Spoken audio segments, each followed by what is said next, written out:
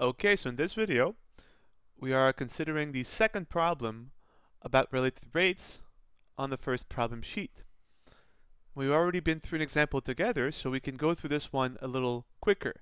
Remember to visualize the problem, write down what you know and what you want, find a relation, differentiate, and then solve for the um, rates that you were trying to find. So we have a rocket rising vertically from a launching pad. So imagine that we're launching a rocket into space. So let's try and visualize this.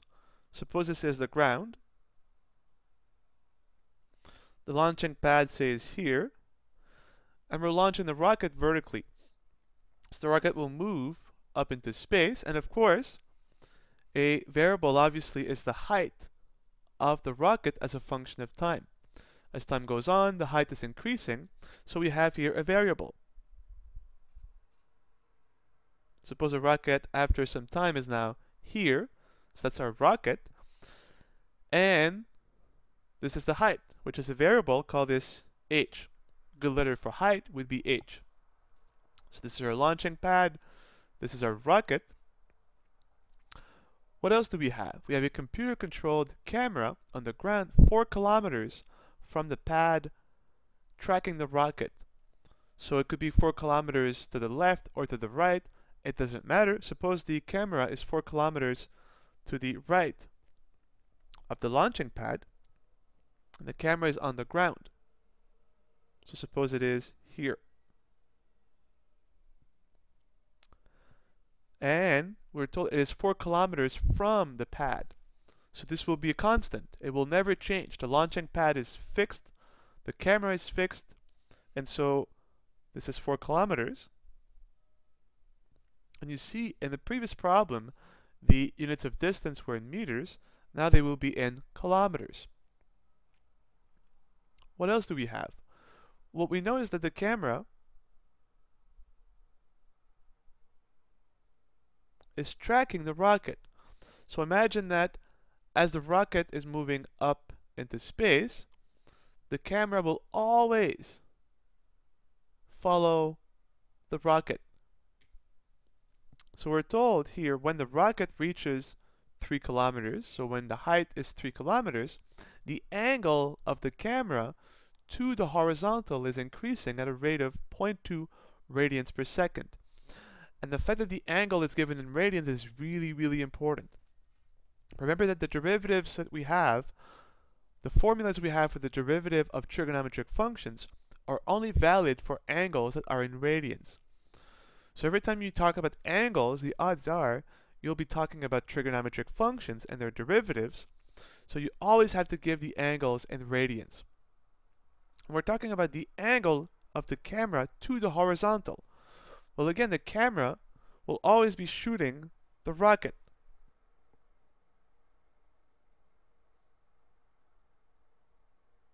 Right? And of course, this segment, the angle and the length will change because it the rocket is at first on the launching pad, the camera is shooting it, it's filming it, and then gradually the angle from the ground to the shooting ray will be changing. A good letter for an angle is theta. And now we have the situation. The rocket is being launched into space, the height is increasing, and so is the angle from the ground to the camera. The camera will always be following the rocket. Now we have captured all the variables of the problem. Let us write down what we know.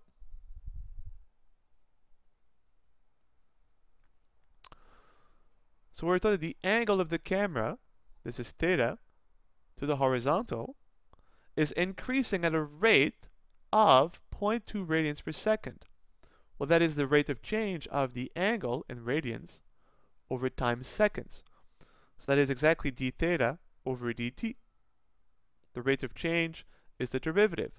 Rate of change of the angle, radians, over time, seconds. And the angle is increasing, and it's clear from the picture as time goes on, the rocket is higher and higher and higher, and so the angle keeps getting bigger and bigger and bigger.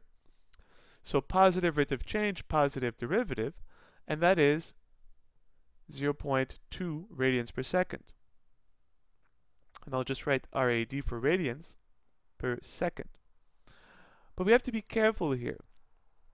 This is not always the case. We're told that this is true when the rocket is 3 kilometers high.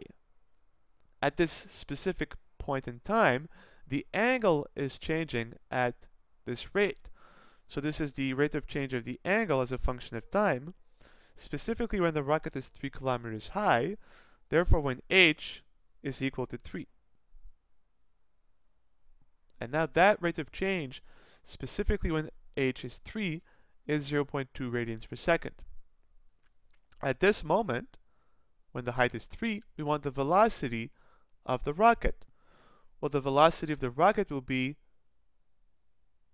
the rate of change of h. So that's the derivative of h with respect to t. And again, at this moment, specifically when the rocket reaches a height of 3 kilometers. That's what we want to find. At this point, we forget the word problem because we have everything we need. We have the picture, we know what we know, we know what we want, and now we're good to go. We need the relation now. We have to relate the angle with the height of the rocket.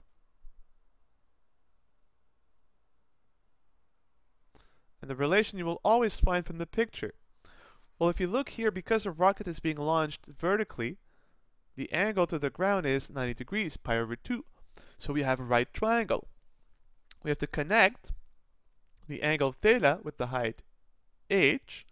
So we have a right triangle, we have the angle, we have the opposite side is h, the adjacent is 4. Well, the trigonometric function connecting the angle of a right triangle with the height and the base is the tangent function. SOHCAHTOA, tangent is opposite over adjacent. So tangent of theta is equal to h over 4, or if you prefer, 1 quarter times h. Now we have a relation, and keep in mind that as time changes, h changes, so h is a function of t, and as time changes, the angle changes, so theta is also a function of t, where t again is in seconds. Well, both sides now, tan of theta is a function of t, a quarter h is a function of t, so we can differentiate both sides with respect to t.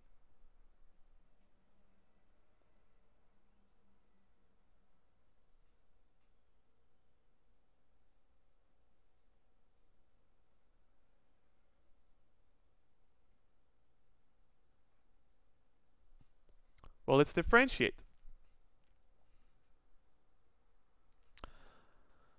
Is tangent of theta. Well, the tangent is the outside function. The derivative of tangent is secant squared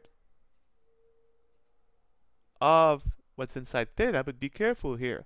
It's not just secant squared of theta because there is a theta left over, and we differentiate with respect to t. So by the chain rule, this is times d theta over dt.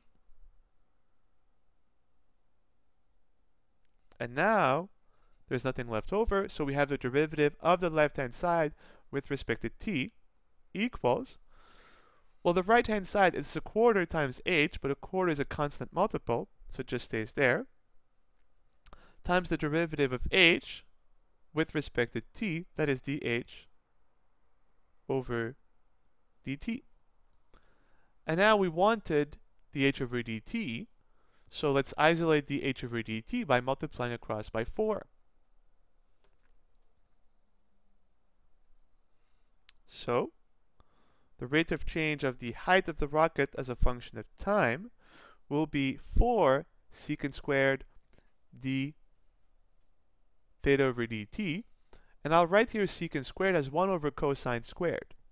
So this would be 4 times secant squared, but secant is 1 over cos. Secant squared is 1 over cos squared, so it's 4 over cos squared of theta times the rate of change of the angle, d theta over dt.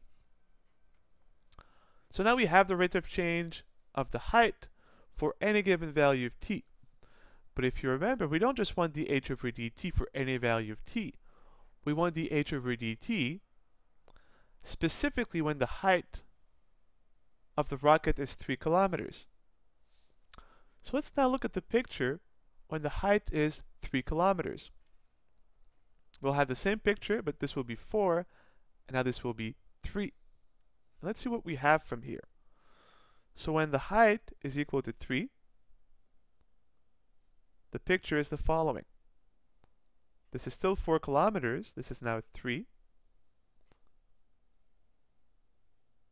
And we have the angle. And since we want dh over dt when h is 3, we have to evaluate this expression when h is 3. That's what we wanted to find. So we wanted dh over dt, specifically when the height equals 3. And that's equal to. Well, let's see. 4 is 4, so we'll have just 4, no matter what, times dh over dt, and not dh but d theta over dt, when the height is 3. But this we know, right? When h equals 3, d theta over dt is 0.2. So times 0.2. And now all we're missing is the value of cosine of theta, then we'll square it, when h is 3.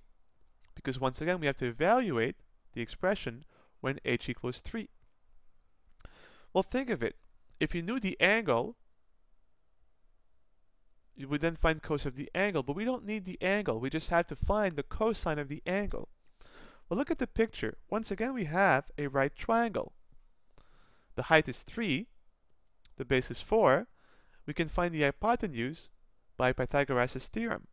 Right? The hypotenuse is the square root of the base squared, that's 16, plus the height squared, that's 9, but 16 plus 9 is 25. The root of 25 is just 5. And now we have a complete picture when the height is 3. The height of our triangle is 3, the base is 4, and the hypotenuse is 5.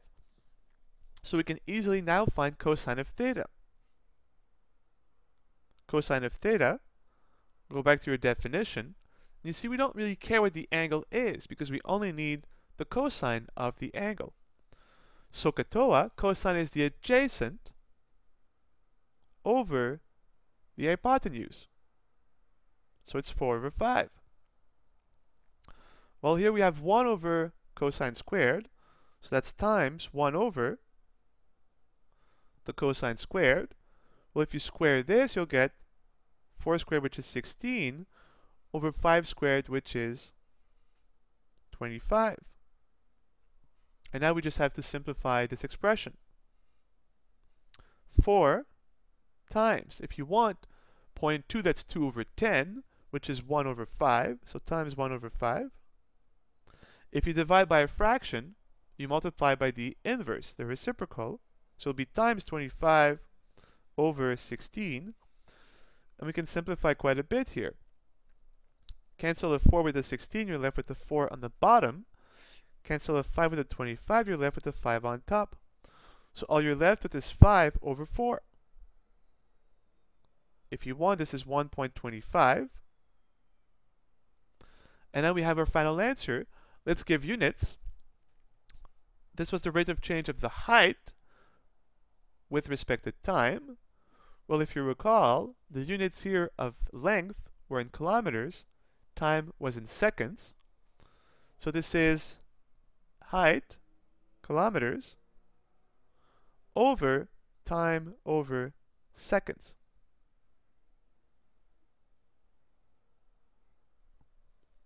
And you see, once again, we have a positive rate of change, which makes sense, right? Because that's the rate of change of the height of the rocket. And as time goes on, the height is increasing. And when you have a variable that's increasing, it must have a positive rate of change. And so our conclusion is when the rocket reaches a height of 3 kilometers, its rate of change, its velocity is 1.25 kilometers per second. So there you have it.